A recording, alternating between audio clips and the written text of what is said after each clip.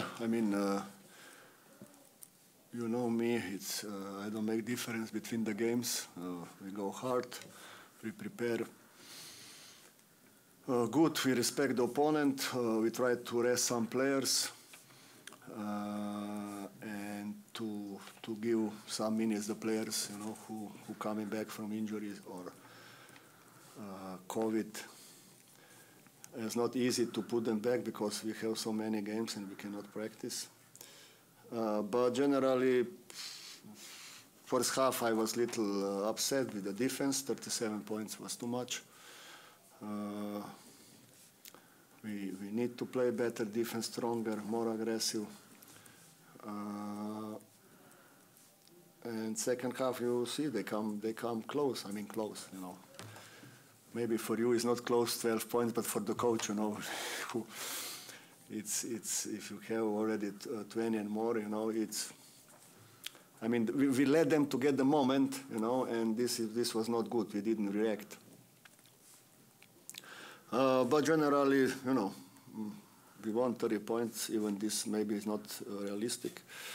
Uh, some players have a good game. We shoot 20 six three points, which uh, I mean we need to shoot more three points in EuroLeague. You know, we need to share the ball better. Uh, first half was good. Second half we again uh, we was late on passing, or we look just these first close passes. Uh, we don't go inside outside passes, and uh, you know we we need to to improve this. It's not easy again, but without practice. But uh, remember in the beginning when I arrived, we, we, we shoot a lot of three points, and lately we in EuroLeague we, we suffer.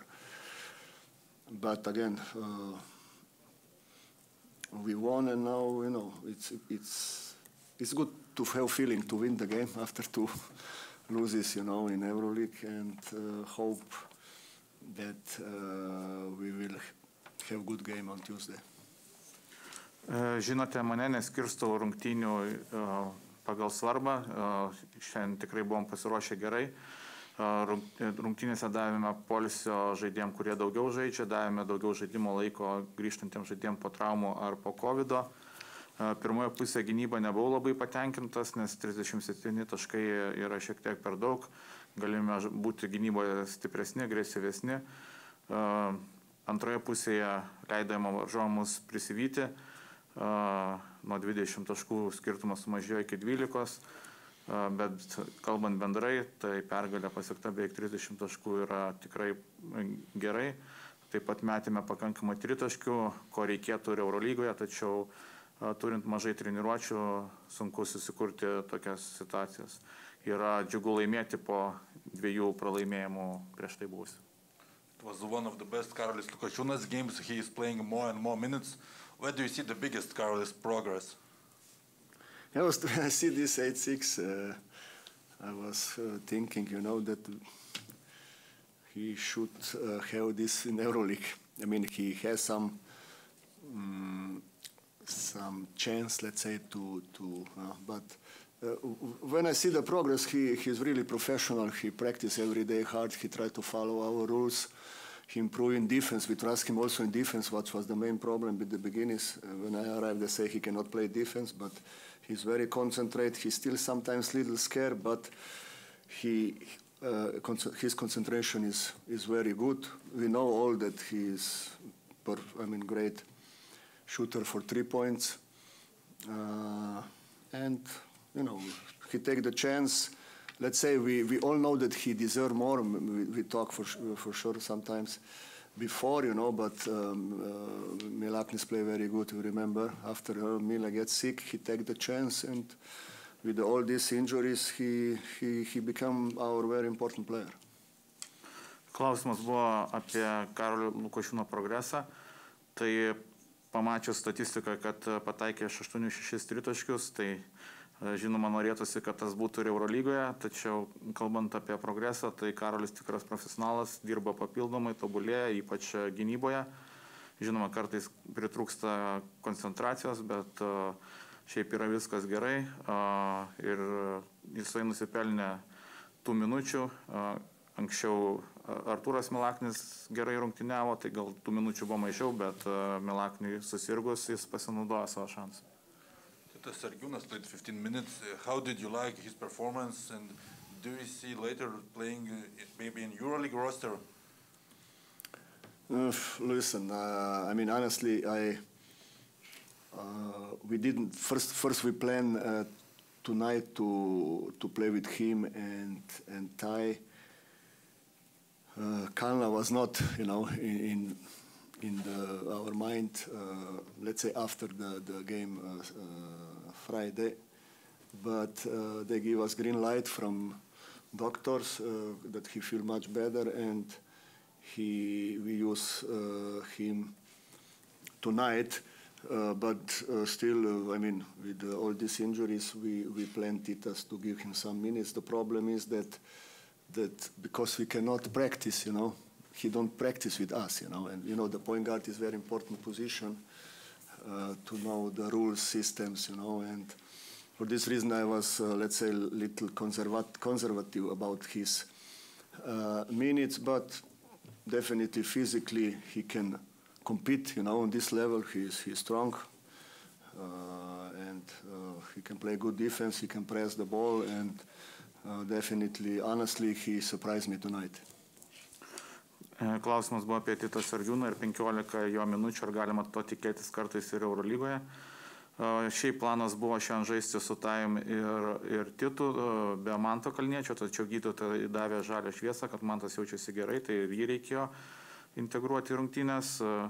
O Titui vis tiek suteikėme minučių, tiesiog kadangi jis yra žaidėja, žaidėjas, o treniruotėm laiko stinga, tai e, gal buvau šiek tiek konservatyvus e, jo atžvilgiu, tačiau jis tikrai gerai pasirodė, jis yra tvirtas fiziškai, gali gerai gintis, spausti varžovų žaidėjus. Mantas Kalnietis didn't play for a while. What is about his ankle situation? Is he ready to play for 100%? For sure. I mean, otherwise we will not uh, we will not uh, play him tonight. You know, I talked with him yesterday. He feel good. Like I said before, he uh, the doctors give us green light, and uh, we use this game to you know to feel the rhythm of the game uh, a little bit. And uh, so far, uh, I don't have any uh, information that is something wrong. Ar Kalnietis yra 100 procentų pasiruošęs, tai atsakymas taip. Jei nebūtų pasiruošęs, tai ir negalėtų žaisti, o gydytojai davė žalę šviesą ir šias rungtynės išnaudojame, kad jisai pajaustų ritmą. Yes, coach, want to ask about uh, Webster, how you can des- describe your relationships, uh, relations with uh, Ty. With Ty, you cannot have bad relation.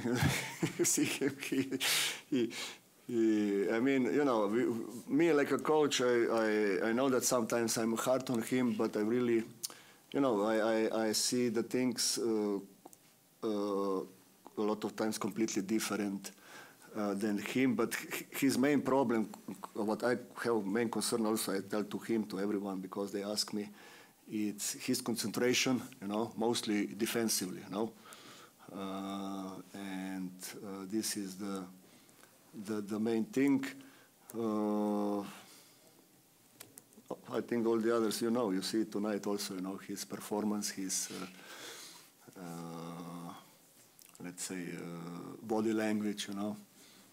Uh, but we all know and that, you know, he have, he have, let's say, this uh, athleticism, you know, talent, but he must now produce this to, you know, to be responsible, uh, to become good player.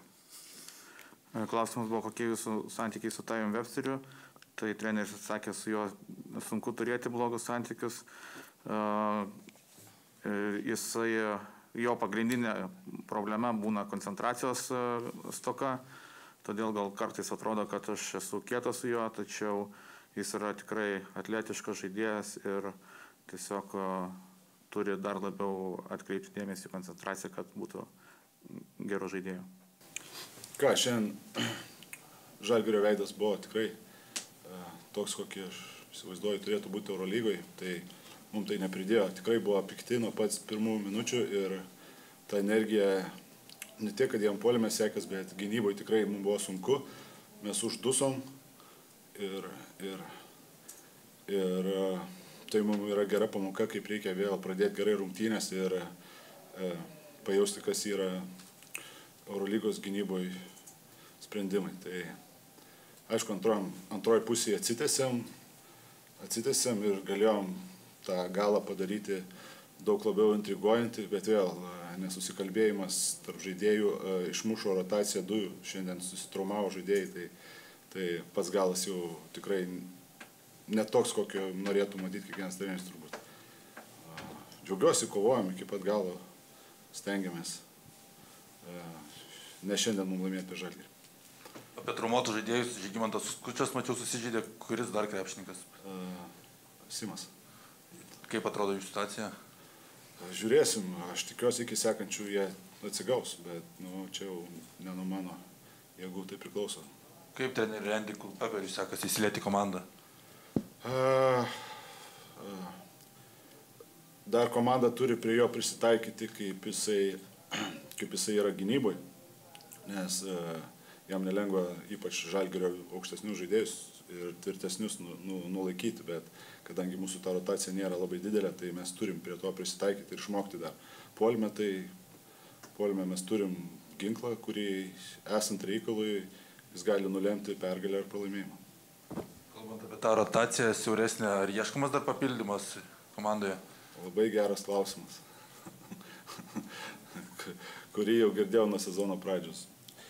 Ieškom, be abejo pirmoje rungtynių pusėje pasakė, blogai pradėjote mačą, ar tai daugiau lėmė jūsų klaidos gynyboje, kad Žalgiris tiek tolimų metimų patakė 11 tritaškių per du kelnius, ar, ar pats Žalgiris tiesiog labai gerai susikūrėjęs? Uh, tai uh, visų pirma, uh, jų greitis puolime ir situacijos buvo tikrai pakankamai sudėtingos ir mes nespėjom jas greitai vertinti. Ir, ir, ir pataikius pirmą metimą Lukošiūnui mes neprisitaikėm, nes uh, jam atsiriša rankos ir mes turim dengti jį daug arčiau. Neįvertinom šito ir, ir, ir, ir, ir kiti geriau pasijuto žalgeriečiai. Tiesiog leidom jam įskleisti sparnus, kas yra labai blogai, ypač žaidžiam prie žalgerį. Jos reikia laikyti arti. Pirmoje pusėje atrodė, kad e, kuomet Danisevičius nėra ant parketo, komanda tokia be energijos, kuomet jis žaidžia, tas vaizdelis visai kitoks. Na, Markelis. Uh, su Žalgiriu žaidžia pirmas berots rungtynės. Tai e, kiekvienam krepšininkui, kaip galbūt beručkai, pirmas rungtynės yra daug, e, manau, viduj e, pokalbių galvoje. Tai e, tiesiog reikėjo nuraminti Markelį ir jo, jo antras išėjimas tikrai mums davė daug daugiau. O Poliukas jau žino, žino, ko tikėti, žino e, greitį, žino, kaip e, komandą vadovauti. Tai, e, kaip, kaip įeiti derinius, tai šitoj, šitoj vietoj Paulius turėjo daugiau patirties. Oh.